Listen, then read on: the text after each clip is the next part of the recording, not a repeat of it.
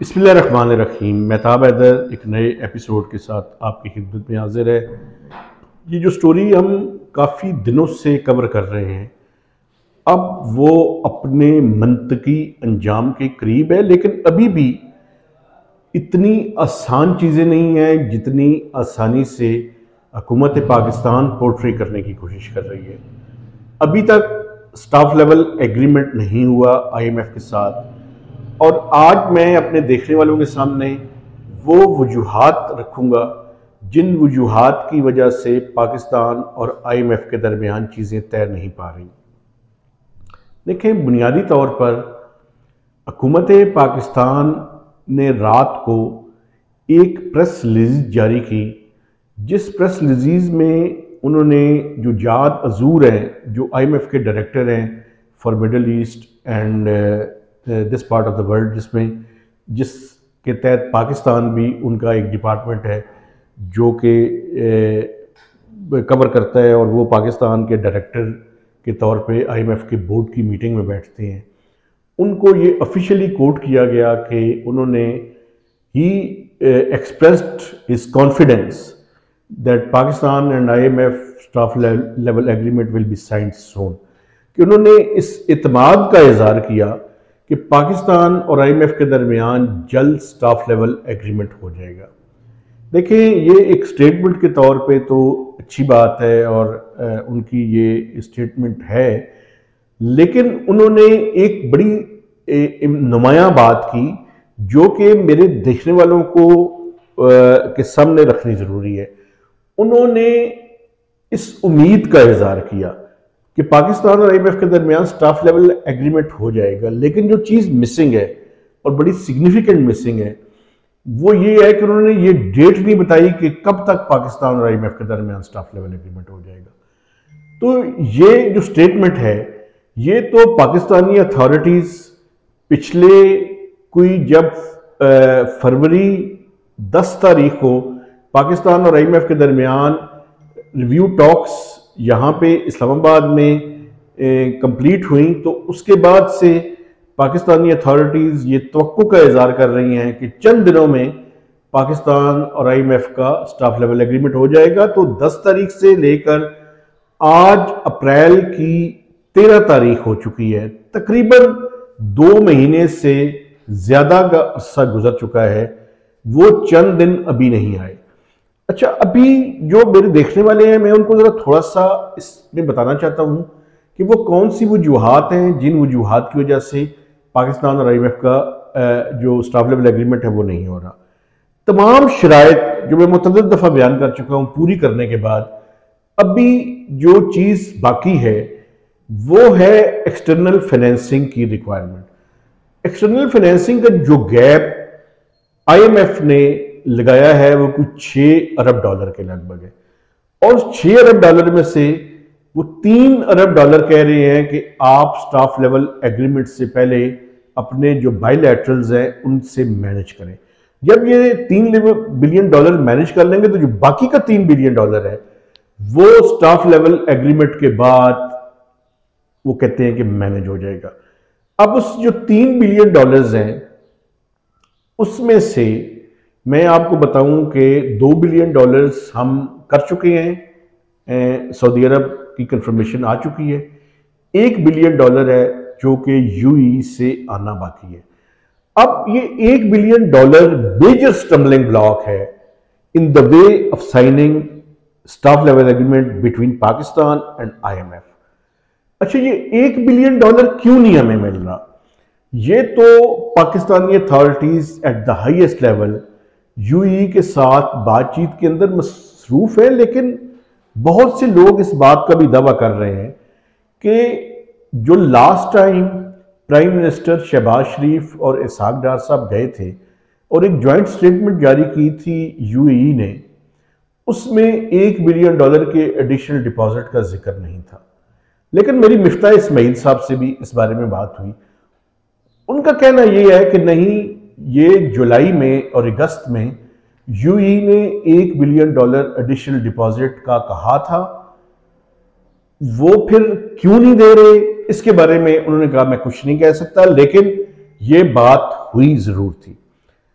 अब एक billion dollar का कंफर्मेशन ना मिलने की वजह से पाकिस्तान और आईएमएफ के दरमियान स्टाफ लेवल एग्रीमेंट का कोई टाइम फ्रेम नहीं दिया जा सकता। कल पाकिस्तानी जो ऑफिशियल्स हैं, उनकी तरफ़ से एक जो है वो डेलिब्रेट लीक हुई। टीवी चैनल्स ने वो खबरें भी चलाई कि वो प्रोसेस जारी है और विद इन दिस वीक उसकी कंफर्मेशन हो जाएगी। लेकिन कल तक, कल शाम तक उसकी कंफर्मेशन ना तो पाकिस्तानी अथॉरिटीज़ के पास आई थी और ना ही आईएमएफ को कन्वे की गई थी। तो अभी तक वो एक बिलियन डॉलर की कंफर्मेशन का बड़ी शिद्दत के साथ इंतज़ार है। अब पाकिस्तान जैसा एटमी मुल्क, जो कि मैं समझता हूँ कि एक एक जो है, वो उनके पास देखें कि इतनी बड़ी एटमी ताकत और एक बिलियन डॉलर के लिए हम दर बदर की ठोकरें खा रहे लेकिन मसला ये है कि जो एक बिलियन जब तक आईएमएफ का स्टाफ लेवल एग्रीमेंट या आईएमएफ का एग्रीमेंट या आईएमएफ का प्रोग्राम रिवाइव नहीं होता, हम कमर्शियल फाइनेंसिंग भी हासिल नहीं कर सकते। हम चाइना से, मैंने कल काफ़ी लोगों से बैकग्राउंड में डिस्कस किया। उन्होंने कहा, जी, हम चाइना से कितनी मदद मांगे? चाइना ने अभी रिसेंटली टू बिलियन डॉलर्स का सेफ़ डिपॉजिट्स को रोल ओवर किया। दो बिलियन डॉलर्स की रीफाइनेंसिंग की हमारी रिक्वेस्ट उनके सामने है, जिसमें से एक इशरिया सात बिलियन डॉलर्स वो पहले ही उनके कमर्शियल बैंक्स पाकिस्तान को रीफाइनेंस कर चुके हैं। 300 मिलियन डॉलर उम्मीद ये की जा रही है कि आइंदा चंद दिनों में कर देंगे। तो हम कितनी उनसे तो रखें और कितनी मदद मांगें? तो शायद वो भी मेरे ख्याल में ऑप्शन नहीं है। तो यूएई की जो ऑप्शन है इसके बारे में आइंदा चंद घंटे और आइंदा चंद दिन कपल ऑफ़ डेज़ बड़े इंपॉर्टेंट हैं।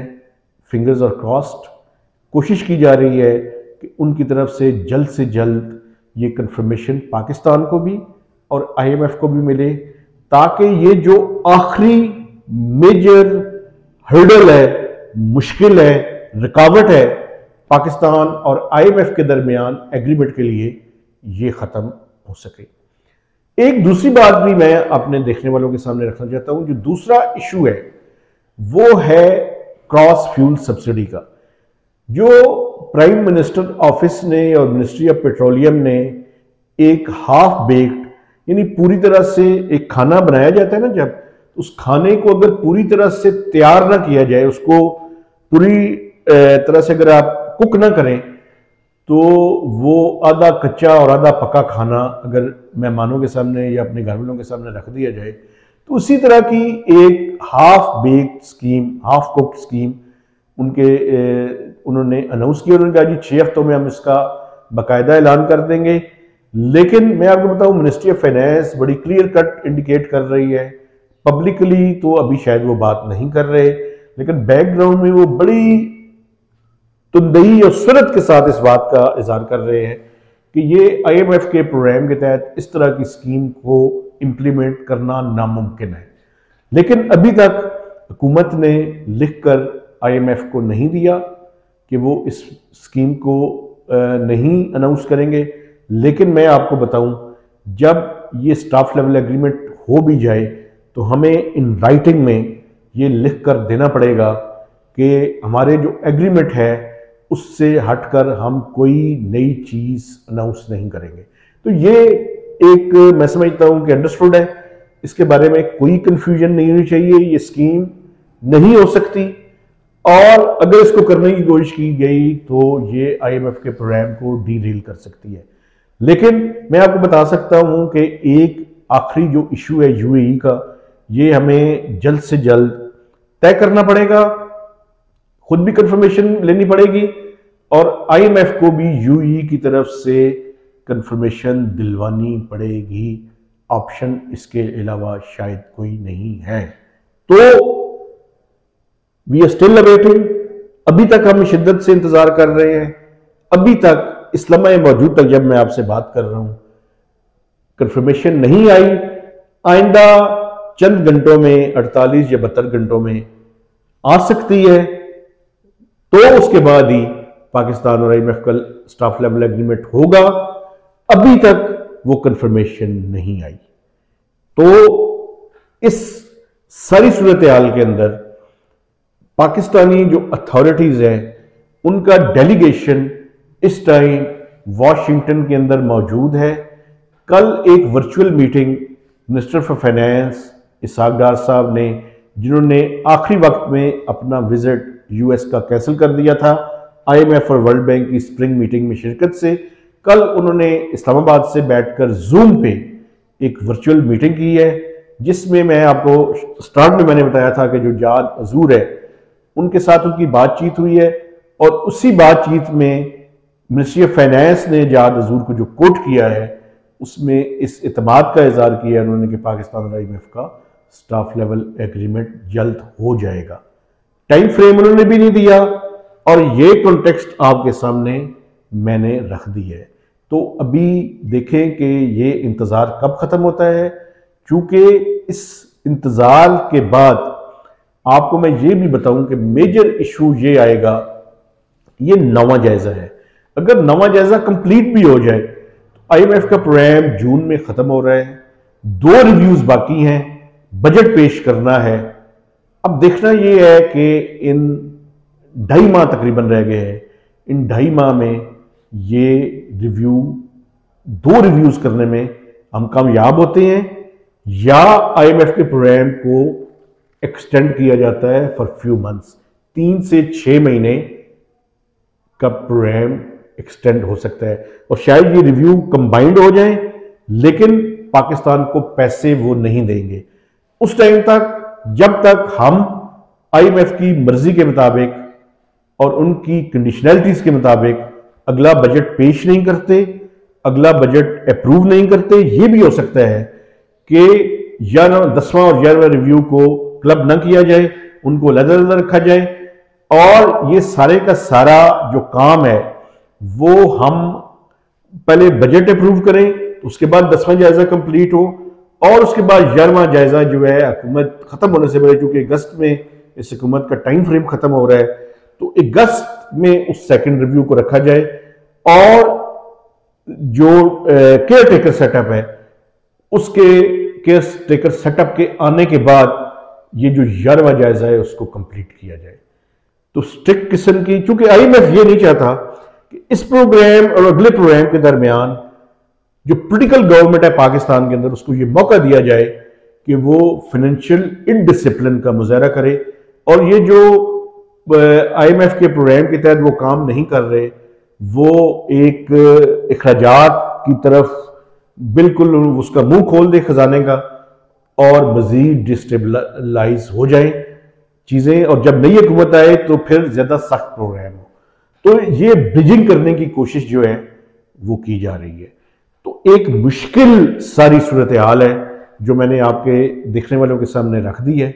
आपसे गुजारिश है कि हमारे चैनल को सब्सक्राइब भी कीजिए और आइकन का जो बटन है, उसको भी दबाइए, ताकि आपको हमारी लेटेस्ट वीडियोस भी मिल सकें और अपने दोस्तों, अजीज़ों और रिश्तेदारों के साथ इसको शेयर भी करें, ताकि हमारी जो एफर्ट है, वो मैक्सिमम लोगों तक पहुँच सके। तो महताब हैदर, को इजाज़त दीजिए। खुदा